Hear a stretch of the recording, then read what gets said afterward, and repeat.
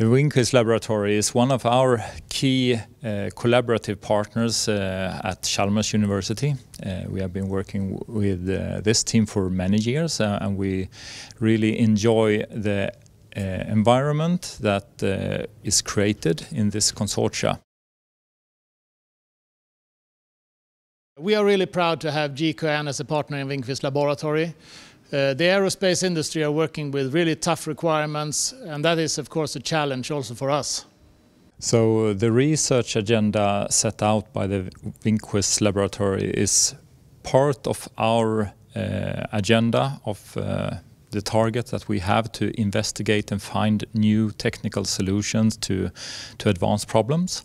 Uh, we all always seek to find new ways to to solve challenging tasks and also implement new methods and technology into our daily business. Um, this has been part of our journey for many years together with the Wingquist Laboratory and we are looking forward to, to continue that journey together with them. So in this collaboration we have been working uh, for instance on how to identify the stacking of uh, small components building up uh, an advanced structure. Uh, but we can also see some other challenges in order to cope with all the requirements necessary to be met on uh, a flying hardware. We try to identify methods of breaking down and setting targets on each requirements and follow up up that uh, type of uh, challenges. Uh, and that has been worked out uh, with new methods uh, developed by the Wingquist laboratory. I think there are probably three main results coming out of this. a key one is of course creation of knowledgeable people.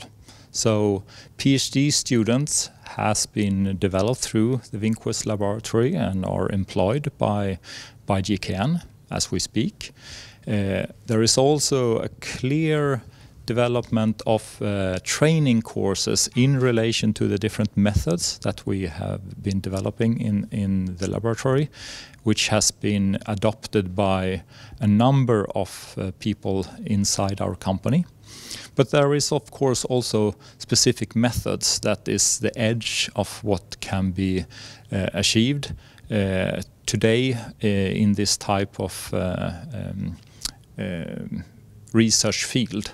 Uh, and we are always in the chase of finding the best uh, technology out there. Um, and that has been a key success uh, factor for, for us being part of uh, Wingquist laboratory. Uh, I think we see evidence of that inside our company today. One example of what we have developed through the Wingquist laboratory is methodology for how to prepare advanced 3D printing uh, traces of our robot systems. This has been uh, done by uh, manual work basically before and now we actually have a computer tool that support us uh, directly with transferring uh, the necessary geometry into a, a robot model.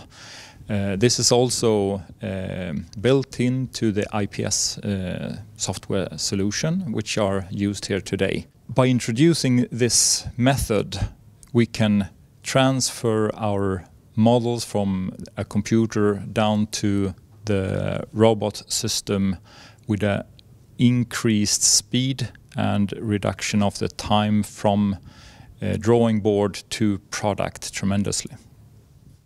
So how has this collaboration uh, contributed to the United Nations uh, development goals? Well, as you, we all know, the aviation industry is one key source to emission. Uh, and the challenges that we see is, of course, how we can contribute by reducing those emissions. One key element of that is, of course, to introduce more advanced solution in propulsion systems and by being able to quickly move in with new technology, uh, Wingquist Laboratory have proven to be a source of new technology that we can adopt into this journey.